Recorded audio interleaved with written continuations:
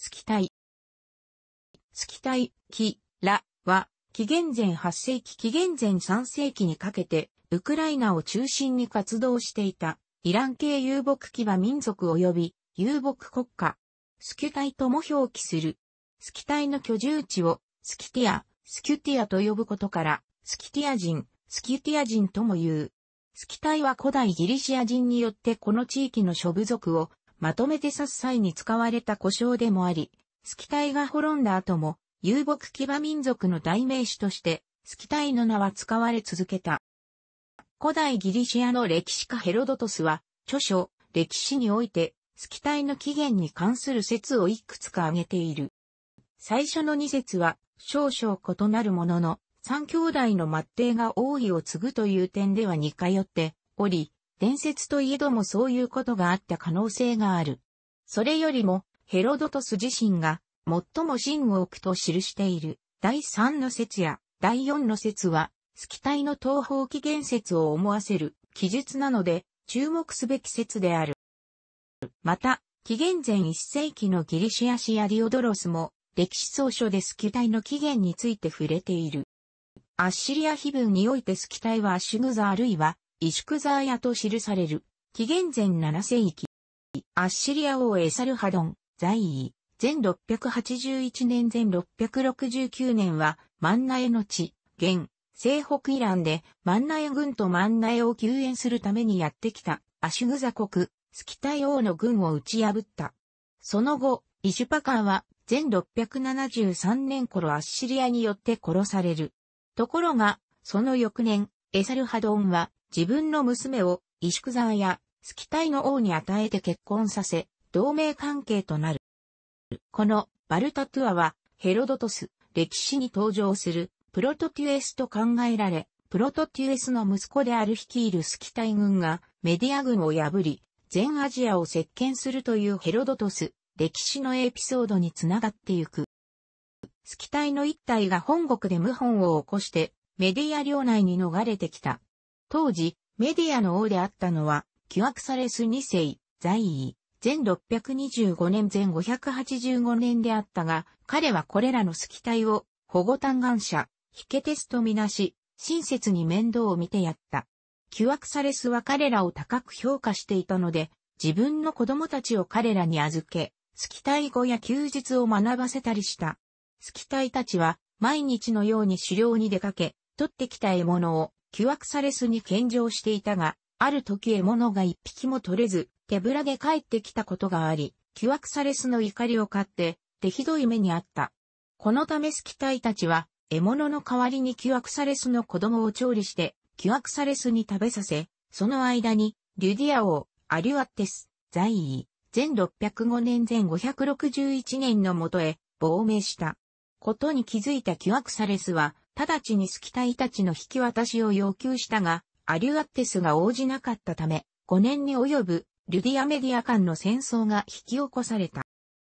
アジア、ここでは西アジアを指すにおいて、メディア王のキュアクサレス2世がアッシリア軍と戦い、ニノスの町を包囲していた時、スキタイ王の率いるスキタイの大軍はメディア軍を強襲し、交戦の末にメディア軍を破って全アジアを席巻した。スキタイ王のマドゥエスラは、北の草原地帯からキンメリア人、キンメリオイを駆逐し、それを追って、コーカサス山脈の東側からアジアに侵入できたので、あるが、この地では、ちょうど、アッシリア帝国からの独立運動が盛んで、メディア軍がアッシリア軍を攻撃している最中であったため、スキタイ軍はその隙を狙ってメディア軍を破り、続いてエジプトを目指して南下した。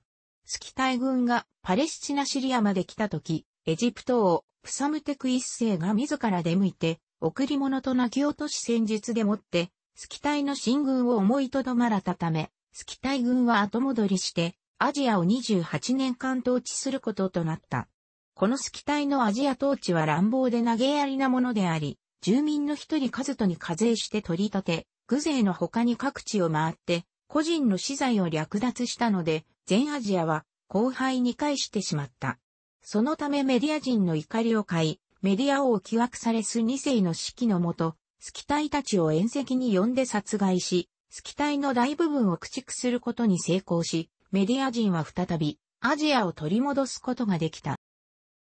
メディア人によってアジアから駆逐されたスキタイたちは28年ぶりに故郷の草原地帯へと帰っていった。しかし、28年間留守にしていたため、スキタイ戦士の妻たちが奴隷途上を通わせて子供、作ってしまい、成長したその子供たちは帰国しようとする、スキタイ戦士たちを迎え撃ってしまう。交戦の末、スキタイ戦士のある者が、我々が武器に変えて、無知を持てば、彼らが奴隷であることを自覚し、抵抗しなくなるだろうと提案し、それを実行したところ、奴隷の息子たちは、抵抗をやめて遁走した。こうして、スキタイ選手たちは28年ぶりに故郷へ帰国することができた。アケメネス朝のダレーオス一世、在位、前522年前486年は、ボスポラス海峡を渡って、トラキア人を征服すると、続いて、北のスキタイを征服するべく、イストロス川、現、ドナウ川を渡った。これを聞いたスキタイは、周辺の諸民族を糾合して、ダレイオスに当たるべきだと考え、周辺諸族に死者を送ったが、すでにタウロイ、アガテュールソイ、ネウロイ、アンドロパゴイ、メランクライノイ、ゲロノイ、ブディノイ、サウロマタイの諸族の王は会合し、対策を練っていた。スキタイの死者は、諸族が一致団結してペルシアに当たるため、スキタイに協力してほしいと要請した。しかし、諸族の意見は二手に分かれ、スキタイに賛同したのは、ゲロノイ王、ブディノイ王サウロマタイ王のみであり、その他の諸族は、スキタイの言うことは信用できないとし、協力を断った。こうして、すべての民族が同盟軍に加わらなかったため、スキタイは正面からの攻撃を諦め、焦土作戦によってペルシア軍を迎え撃つことにした。スキタイはまず、ペルシア軍の前に現れて、ペルシア軍をおびき寄せ、東へと撤退していった。両軍は、おいおい割れながらタナイス川を渡り、サウロマタイの国を越えて、ブディノイの国に達した。この間の土地には、焦土作戦のため、水も食料もなく、ペルシア軍はただもぬけの殻となったゲロの巣の木造砦を燃やして進軍を続けた。やがて無人の地に入ったため、ダレーオスは進軍をやめて、ゴアロスが現ボルガ川藩に駐屯し、八つの砦を築き始めた。この間に、スキタイ軍は北を迂回して、スキタイ本国へ帰った。スキタイが姿を消したので、ダレーオスは砦の築城を放棄して西へ転じ、スキタイ本国へ向かった。ペルシア軍はそこでブディノイを含むスキタイ肉連合部隊と遭遇し、再び追跡を始める。しかし、スキタイ軍は逃げるばかりで戦おうとしないため、ダレーオスはついにスキタイの王に死者を送って降伏勧告をした。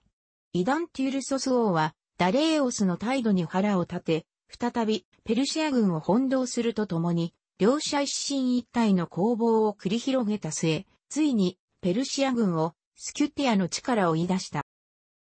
スキュタイの王アリアペーテス、アラヤペイズスがアガテュルソイ王によって暴殺されると、アリアペーテスの子であるスキュレス、シラズが王位を継いだ。スキュレスの母はイストリアの出身でギリシア人であったため、このスキュレスにギリシア語とギリシア文字を教え、ギリシア風の教育をさせた。そのためスキュレスは、スキュティアの王位を受け継いだものの、スキュティア風の生活、遊牧生活が好きになれず、ギリシア風の生活を好むようになり、スキュタイの人目を忍んでは、ボリュステネス人、農民、スキュタイの町、オルビアへ出入りし、ギリシア風の服をまとい、ギリシア風の生活を送っていた。さらにスキュレスは、スキュタイが嫌っているディオニュソス・バッケイオス、バッコスの信仰に入信してしまう。後に、これらのことが、あるボリュステネス人の密告によって明らかとなり、スキュタイラは、スキュレスの異母帝であるオクタマサデスを立てて、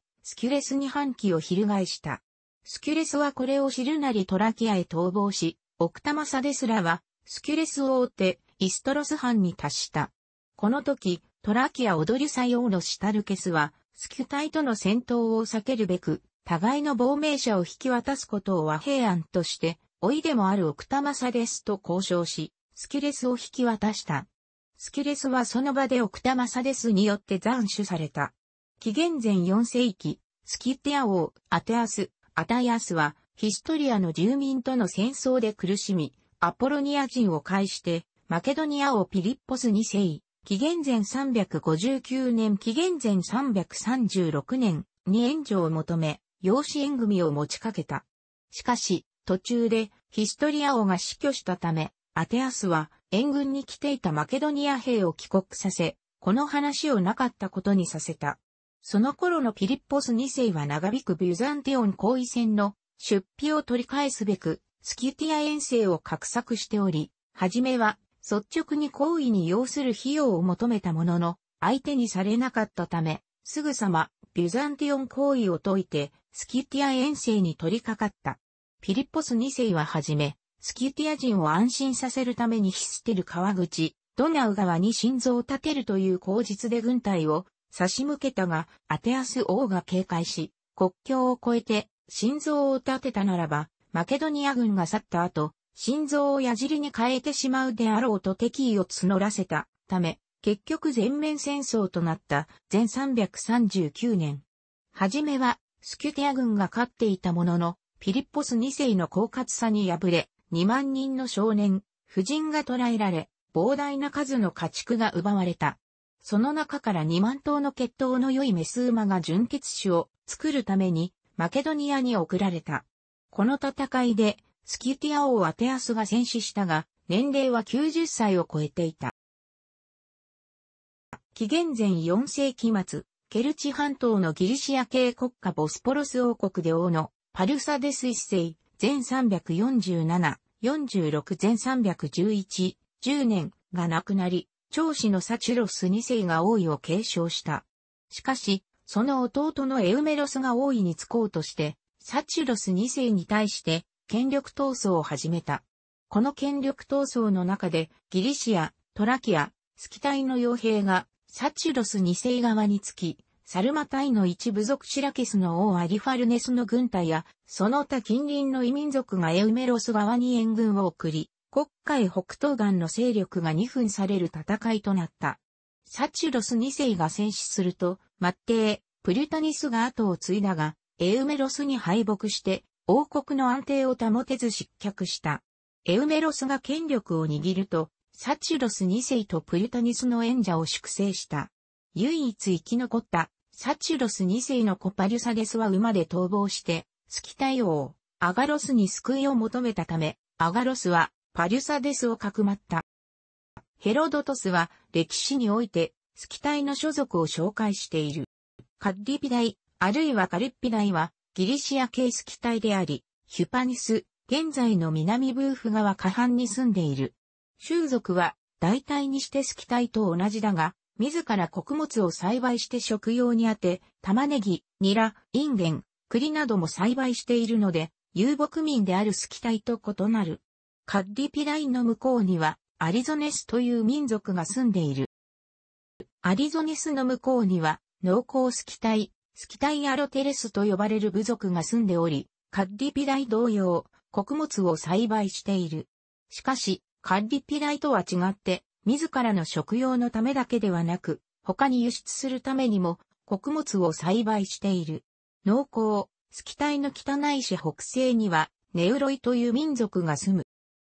鉄器時代の文化である黒森文化の担い手で、古い時代のバグが出土しており、遅くとも先、スキタイ時代である第2期までにはすでに馬をよく使う文化が成立していたことが知られている。スラブ語に見られるイラン系言語の地理的名称、特に河川の名称や借用語、そしてキリスト教を受容する前の中世前期スラブ人にも見られる仮想の習慣から農耕スキ体はプロトスラブ人、原スラブ人とも呼ばれるスラブ人の祖先となった複数の古代部族のうちの機関的な集団であると推定される。ボリュステネス川、現、ドニエプル川を渡って海辺から北上すれば、まず、ヒュラや森林地帯があり、ここからさらに北上すれば農民スキタイ、スキタイデオルゴイが住んでいる。ヒュパニスカ藩に住むギリシア人はこれをボリュステネー隊、ボリュステネス市民と呼ぶが、彼ら自身はオルビオポリ隊、オルビア市民と称す。農民、スキタイの居住地から東へ向かい、パンティカペス川を渡れば、遊牧スキタイ、スキタイのマデスが住んでいる。彼らは純粋な遊牧民であり、彼らの住む地域は木が一本も生えていない草原地帯である。この遊牧スキタイはパンティカペス川からゲッロス川に至る東西14日間の範囲にわたって住んでいる。ゲッロス川園はコラクサイスを始祖とする王族パララタイ氏の領する王族スキタイ、スキタイバシレウスの領土であり、彼らはスキタイの中で最も勇敢で数が多く、他のスキタイを自分の霊族民とみなしている。国家的な意味で、スキタイと呼ぶときはこの王族スキタイを指す。彼らの領土は、南はタウロイの国、タウリ家に達し、東は盲目の奴隷の子らが開墾した堀割に至り、マイオティスコ、現、アゾフ海藩の通称地クレムの意に及んでいる。また一部はタナイス川、現、ドン川にも接している。一世紀のポンポニウスメラは、世界地理でバシリ大族の始祖はヘイラクレースとエキドナの子で、種族は王族風、武器は弓矢だけである。と記す。テュッサゲ隊とイユル海の国を越えて、さらに東方に進めば、別種のスキ隊が住んでいる。これは、王族スキ隊に背き、その果てにこの地に到来したものである。これは、種族名ではなく、いわゆる、女病にかかった者たちを言う。スキタイがアジアに侵入した際、スキタイはエジプトを目指して南下すると、エジプト王の泣き落とし戦術に遭い、エジプト侵入を諦めて引き返した。その途上、シリアのアスカロンという町に差し掛かった時、大部分のスキタイがその町を通過したのに、一部の者が残ってアプロディテウラニアの神殿を荒らした。後にこの者たちとその子孫は、女病にかかったため、神殿を荒らしたたたりとされている。ヘロドトスもこの者たちの意訳として、女男、男女と記している。女病については詳しくわからないが、性病、男色、意味など諸説あり、確定していない。スキタイの王国は三人の王によって分割統治される。これは第二代の王であるコラクサイスに始まるものであり、コラクサイスは広大なスキュティアの国土を三つの王国に分け、自分の息子たちに所領として分け与えた。そのうちの一国は、特に大きくして黄金の器物を保管し、創始国としての役割を持たせた。スキタイが祀る神として、最も重んずるのがヘスティアー、かまどの女神で、ついでゼウスとゲイ、大地の女神で、スキタイはゲイをゼウスの妻としている。さらにアポローン、ウーラニアー、アプロディーテー、天上のアプロディーテー、ヘイラクレース、アレースがある。これらはスキタイ全民族が祀る神であるが、王族スキタイはさらにポセイドーン、海の神にも犠牲を備える。これは王族スキタイがアゾフ海沿岸に住んでいるためだと思われる。以上の神々はギリシア風に訳したものであり、スキタイ語にすれば以下のようになる。基本的にスキタイでは心臓や祭壇や社は作らないが、アレースだけには心臓や祭壇を設ける。どの犠牲式でもその祭式の作法は同じで、犠牲獣が前足を縛られて立つと、犠牲を執行する者が、獣の背後に立って、綱の端を引いて、獣を転がす。獣が倒れると、犠牲を捧げる神の名を唱えた後、獣の首に紐を巻きつけ、それに棒を挟んでぐるぐると回して締め殺す。その際、火も燃やさず、お祓いもせず、関電、寒天、獣の頭から酒をかけるも行わない。獣を考察した後は皮を剥いで煮て、肉が煮上がると、犠牲の執行人は、その一部を発歩として取り、前方へ投げる。犠牲獣は様々であるが馬が多い。また、アレスに対する犠牲式は次のように行われる。スキタイの小王国内の各地区には、それぞれアレスの聖書が設けられている。アレスの聖書は、重王3スタディオン、高さは3スタディオンいかないくらいで、焚き木の束が積み重ねられ、その上に四角の台が設けてあり、三方は切り立って一方だけが登れるようになっている。そこへ、アレスのご神体として古い鉄製の探検が乗せてあり、毎年スキ隊がこのご神体に家畜を生贄として捧げるのである。また、戦争で生け取った捕虜の中から100人に1人の割合で生贄を選び、その者の頭に酒をかけてから喉を切り裂いて、血を器に注ぎ、その血を合身体である探検にかける。一方で、殺された男たちの右腕を肩から切り落として空中に投げ、儀式が終わるとその場を立ち去り、右腕と胴体は別々の場所に放置される。スキタイは極度に木材の乏しい国なので、彼らは肉を煮るのに次のような手段を用いる。犠牲獣の皮を剥ぎ終わると、肉を骨から削ぎ落とし、鍋の用意があるときは、スキュティア特有の鍋に入れてる。その時先ほど肉を削ぎ落とした骨を焚き木代わりに使って燃やす。鍋がない時は犠牲獣の胃の中へ肉を入れて水を加え骨の焚き木を燃やして煮る。スキタイでは馬をはじめ数々の家畜を飼育しているが豚だけは飼育しておらず生贄にも使わない。スキタイは最初に倒した敵の血を飲む。また戦闘で殺した敵兵の首はことごとく王のもとへ持っていき、その数に応じて褒美がもらえる。首は頭蓋骨から皮をきれいに剥ぎ取って、主金とし、馬録にかけて勲章とする。またある者は、敵兵の皮をつなぎ合わせて衣服にしたり、矢筒にしたりする。頭蓋骨は最も憎い敵に限り、ドクロ灰として用いる。年に一度、戦争で手柄のあった者はその地区の長官から1杯から2杯の酒がもらえる。逆に手柄のない者は酒がもらえず、地辱を忍んで離れた席に座る。スキュティアには多数の占い師がおり、多数の柳の枝を使って占いをする。まず、占い師は棒をまとめた大きい束を持ってくると、地上に置いて束を解き、一本一本並べながら呪文を唱える。そして呪文を唱え続けながら、再び棒を束ね、一本ずつ並べてゆく。この牧戦術は、スキタイ伝統のものであるが、エナレスにおいては、菩提樹の樹皮を三つに切り、それを指に巻きつけたりほどいたりして占う。大抵の場合は斬首だが、誤った占いをした者は後ろ手に縛られ、足掛けと猿靴は押され焚き木の中に押し込まれ、その焚き木を満載した車を牛に引かせた上、火を放って牛を走らせる。牛は一緒に消死するか、火傷を負って消死を免れるものもある。死刑人の子供も容赦なく殺されるが、女子の場合は殺されない。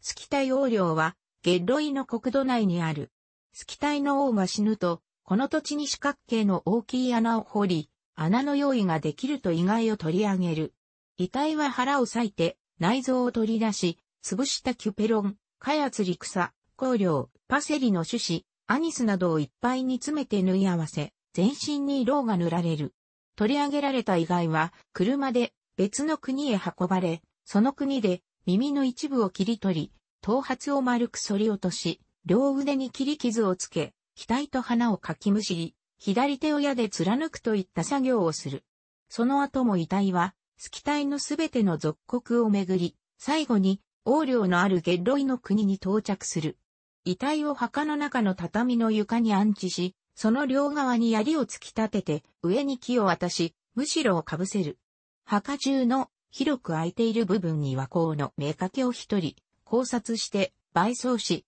尺五章、料理番、馬蹄、自重、取り次ぎ役、馬も倍装し、副装品として、万般の品々から選び出した一部と、黄金の杯を一緒に埋める。その後は全員で巨大な塚を盛り上げるが、なるべく大きな塚にしようと割れがちに懸命になって気づく。一年後、今度は皇王の最も親しく仕えた者50人、最も有料な馬50頭を考察して、内臓を取り除き、中にもみ殻を詰めて縫い合わせる。その死体たちを杭で固定して、机上の状態にさせ、王母の周りに配置する。以上が王の葬式である。一般人の葬式では遺体を車に乗せて、知人の家を回り、地層を受けながら40日間これを繰り返して埋葬される。スキタイ文化を特徴づける共通要素として必ず取り上げられるのは、スキタイ風動物文様、バグ、アブミ形く組と参考、猫く組とめぐ、武器、秋なけ姿探検と、両翼、三翼矢尻の三要素である。19世紀末から20世紀初めにかけて、北カフカスと黒海北岸で、スキタイの古墳が多く発掘され、その中からいくつかの金銀製品が発見されたが、それらすべてが、スキタイ固有の美術品というわけではい。その様式には、西アジア、後期ヒッタイト、アッシリア、ウラルトの影響も見られる。17世紀から18世紀にかけて、カザフステップにおけるスキタイサルマタイ時代の古墳がロシア人によって盗掘され、その副葬品である金銀製品のほとんどが散逸してしまった。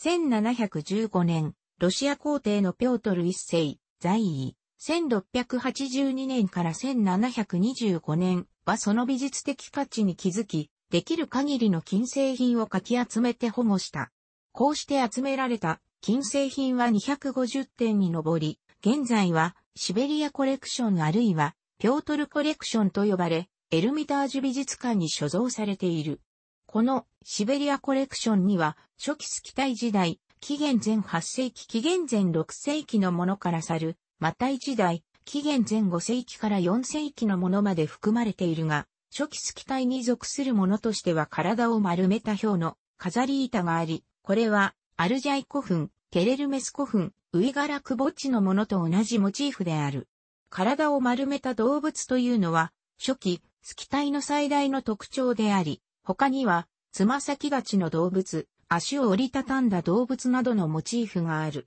また、初期スキタイ美術の頭部、カザフステップイ島では、西アジアの影響は見られず、スキタイ文化の元々の姿に近いと考えられている。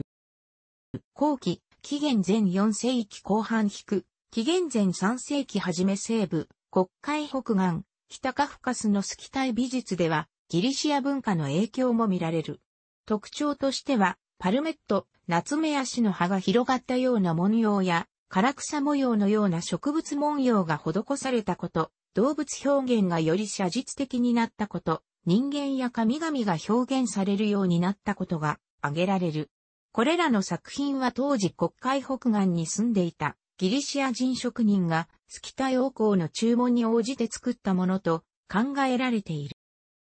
この時代の作例としては、1971年に発掘されたトブスタモヒーラ、トルスタやモギーラ古墳で発見された女性の胸飾りが挙げられ、体をひねった動物という表現もこの時代の特徴であ。スキタイ文化の分布は広範囲にわたり、西はウクライナから、東はロシアのトゥバ共和国にまで及んでいるが、それを示すものとして存在するのが古墳である。以下には、その有名なものを記す。